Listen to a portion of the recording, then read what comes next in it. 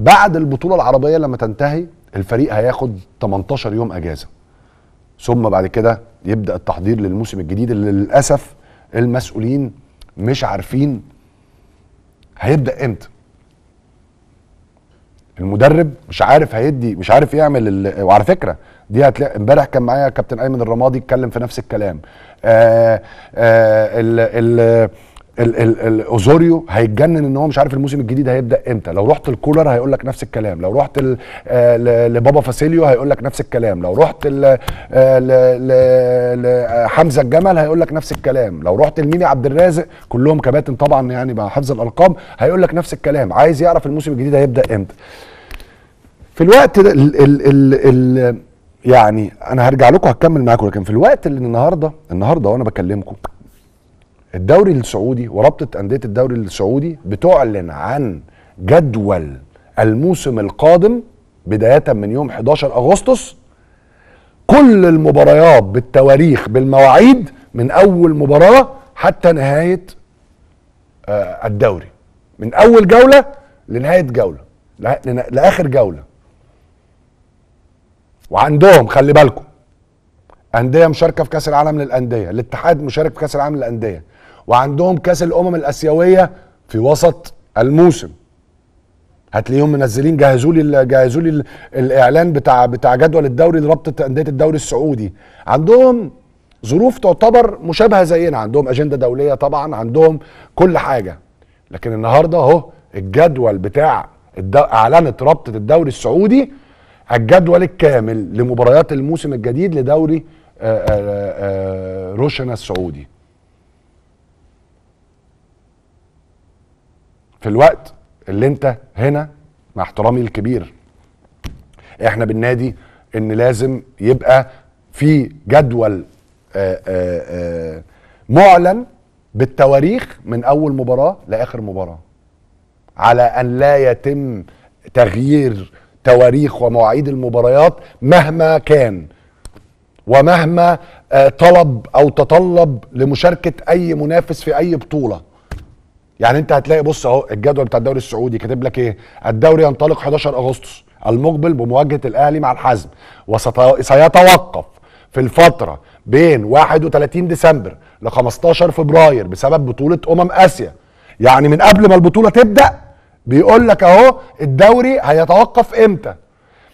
التي تقام في قطر خلال الفترة ما بين 12 ل 10 فبراير. وينتهي الدوري يوم 27 مايو 2024 وهينتهي في الوقت ده. مفيش فرقة هتلعب أكتر من فرقة مفيش فرقة هتلعب جولة إلا لما تكون كل الفرق أنهت الجولات بتاعتها. ده اللي بيحصل في السعودية. وتاني عندهم أندية مشاركة في كأس العالم للأندية وعندهم بطولة آسيا. من دلوقتي بيقول لك أقول أوله شرط آخره نور. طيب البطولة العربية هتبدأ يوم كام.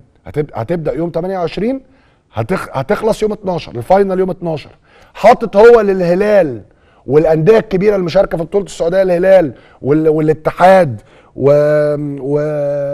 والنصر والشباب حاطط لهم ماتشات يوم 14 أول ماتش في الدوري. محدش يقدر هناك يقول له لا أجل لي الماتش ده. اهم يوم يوم الاثنين ابها والهلال يوم الاثنين اهو الرائد والاتحاد كلهم يوم 14 النصر ومين؟ والاتفاق.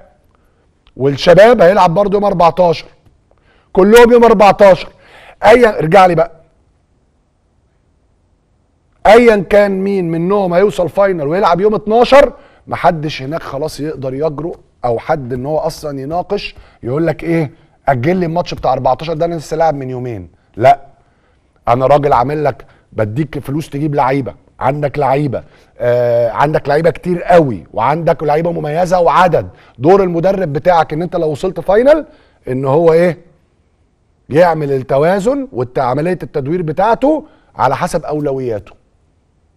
دي الكورة يا جماعة. دي الكورة صدقوني. والله والله والله ما الموضوع ليه علاقة بأهلي وزمالك. لو كان الزمالك في نفس موقف الأهلي كنت هقول نفس الكلام.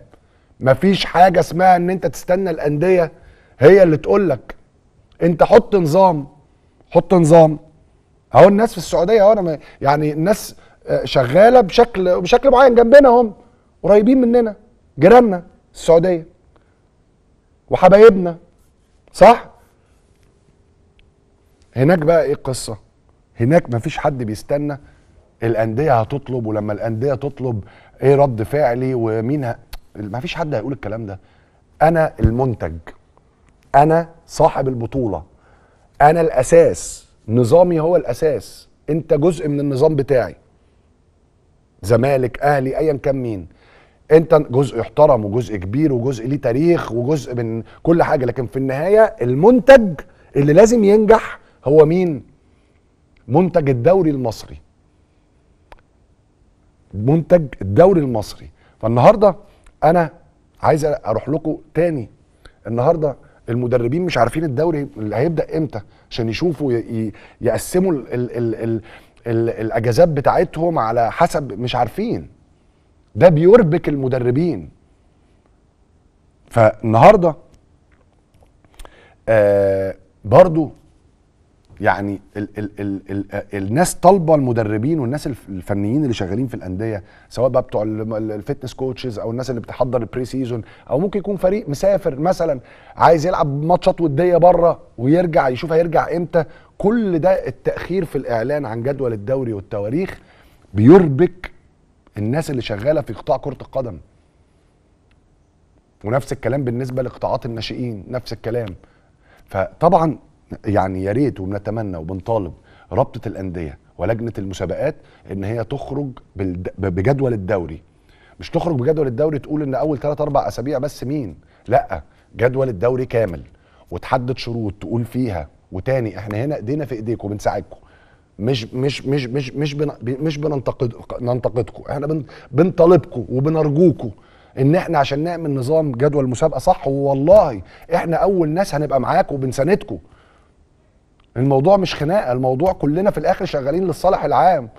نفسي إن يخرج خلال الأسبوع اللي جاي جدول زي ما كده جدول الدوري السعودي خرج كده يتقال فيه يتقال فيه إن ال- ال- الجدول كامل ها؟ التواريخ الجدول بتاع الدوري من يوم كذا ليوم كذا هيخلص مثلا آه واحد سبعة تمام؟ مفيش مشكلة. وهيبقى في توقفات مثلا آه في مشاركة الأهلي في كأس العالم للأندية. ومثلا آه والد- وال- والدوري الأفريقي الممتاز وكأس الأمم الأفريقية مع طبعا الأجندة الدولية. وحط الجدول كده. وخلاص قول إن أنا مش مش هغير أي حاجة في الجدول مهما حصل. أنا أنا المنتج.